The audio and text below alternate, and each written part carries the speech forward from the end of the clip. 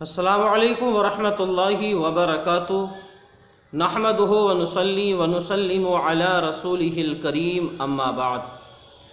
میں ہوں نسیم اختر مراد آبادی، آپ کی خدمت میں اس موضوع کے ساتھ کہ آج کل ہمارے بہت سارے نوجوان اس بات کی شکایت کرتے ہیں کہ حضرت ہمارے آدھے سر میں درد رہتا ہے۔ اور یہ بات حقیقت ہے کہ پورے سر میں درد ہو تو اتنی تکلیف نہیں ہوتی ہے جتنی تکلیف آدھے سر کے درد میں ہوتی ہے۔ بہت دوائی علاج کرایا لیکن کوئی فائدہ نہیں ہوا۔ تو آئیے میں آپ کو ایک نقش بتاتا ہوں۔ آپ اس نقش کو زعفران سے لکھ لیں۔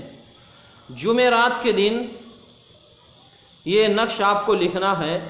پورا طریقہ میں آپ کو بتاؤں گا کیسے استعمال کرنا ہے اور جمعرات کے دن کس ٹائم لکھنا ہے۔ اس سے پہلے آپ ایک مرتبہ جھوم کر درود پاک پڑھ رہے ہیں صلی اللہ علیہ نبی کی رومی کی والی صلی اللہ علیہ وسلم صلاۃ وسلام علیہ یا رسول اللہ صلی اللہ تعالی علیہ وسلم۔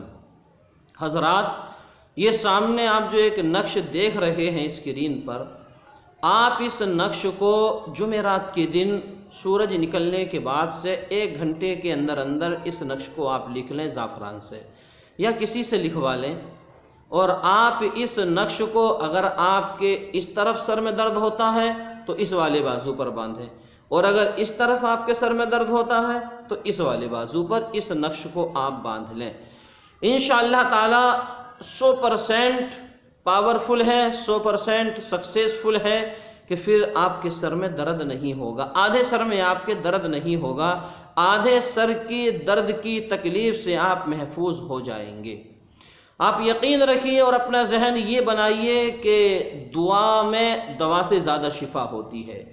آدمی کو ہمیشہ دوا کے ساتھ ساتھ دعا ضرور کرتے رہنا چاہیے۔ اس لیے کہ دعا کے صدقے میں اور دعا کی برکت سے دوا بھی شفا بن جاتی ہے۔